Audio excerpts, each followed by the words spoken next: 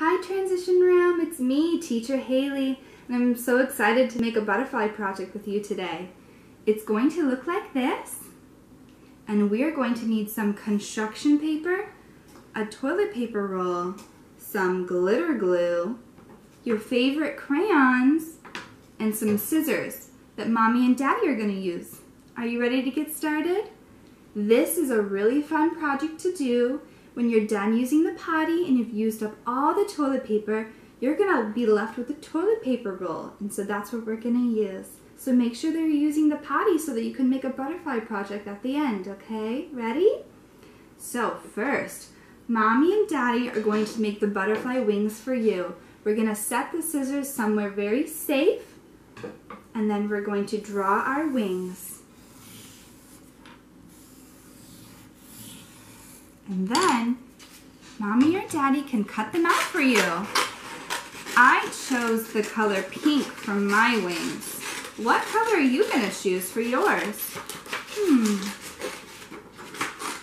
You cut, cut, cut. Very carefully, right? Make sure that you're watching out for your fingers. All right. Now that we've got our butterfly wings, they're gonna look like this. You set your scraps aside so they're out of your way. And then we can start doing the fun part and decorating. How are you gonna decorate your butterfly wings? Let's see. I'm gonna use my favorite red crayon to make hearts. Ooh, beautiful hearts. And then I'm gonna use some purple and color them in. You can do whatever you want. Whatever is the most fun for you. How about some polka dots? All right. I think my butterfly is ready for some glitter glue. I'm gonna choose pink because pink's my favorite color. What's your favorite color?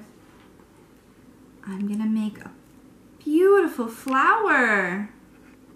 Here are the petals. Loop, loop, loop, just like that. And then I'm gonna outline my hearts. Because I want my butterfly to be very colorful. All right. Now you can take your toilet paper roll, right? And you put some glitter glue on the back of him. This is his body. This is where his head's gonna be. And then you can take it and you stick it on. Make sure that you're pressed down really hard so it sticks to your wings, right? All right, it's gonna look like this. And then you can take two Q-tips. Here we go, just like this. And we're gonna glue them onto our butterfly because he's missing something right now, right? What's he missing? His antennas? Put some glue inside the tunnel. Just like how we have at Small Size Big Mind, we have a tunnel. You're gonna go inside of it with your Q-tips. And make sure he sticks. Now he has antennas, just like this.